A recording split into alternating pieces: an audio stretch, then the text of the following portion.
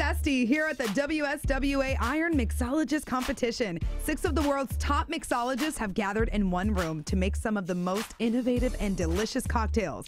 Did I mention I'm one of the judges? Only one can come out on top. Let's see who it is. Um, Nick's drink was great. Loved the presentation. Loved all the uh, Miami flair. And could I go somewhere and actually enjoy this before a meal? And absolutely, I found it light enough. I found it just enough to kind of open up my appetite. So, thumbs up for me. Best of show. Nick Pesto for.